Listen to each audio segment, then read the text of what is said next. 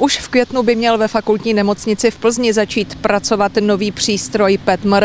Česká republika bude mít tento přístroj jako jediná z bývalých zemí východního bloku.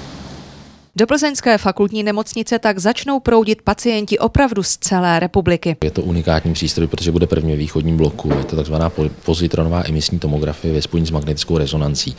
Využívá se zejména pro eh, zjišťování nádorových onemocnění, ať už primárních nebo ceřinných a samozřejmě tím se dokáže kvalitně nebo lépe pacient léčit. To znamená, že ta léčba je cílenější.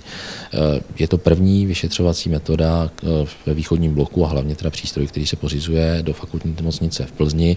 Je to díky tomu, že máme vynikající dvě pracoviště. Jednak onkologii a jednak samozřejmě radiodiagnostiku. Denně by měli být vyšetřeni zhruba čtyři pacienti. Přístroj nemocnice pořídí za 110 milionů korun. Ještě v únoru pak proběhne výběrové řízení na zhotovitele parkovacího domu. Stavět by se mohlo začít v Dubnu.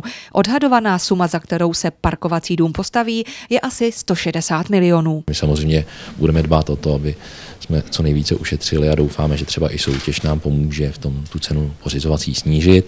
Je to 400 parkovacích míst v areálu Lochotín a měla by se opravdu zlepšit ta obslužnost jednotlivých klinik to parkování, které tam je. Další významnou investicí fakultní nemocnice v letošním roce je stavba heliportu. Tam získáme prostředky i z evropských fondů.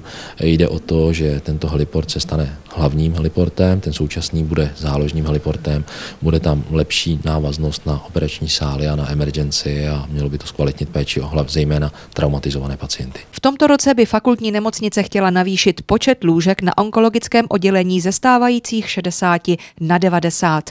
Také lůžkový fond urologického oddělení by měl být navýšen, naopak by se měl snížit počet lůžek na kožním.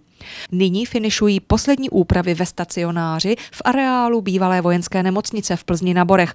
Otevření je plánováno na nejbližší dny. Největší investiční akcí, která by měla odstartovat v tomto roce, je stavba nového chirurgického pavilonu. Zda bude tato akce podpořena ze státního rozpočtu, zatím jasné není. Pro televizi Plzeňská jednička Marcela Durasová.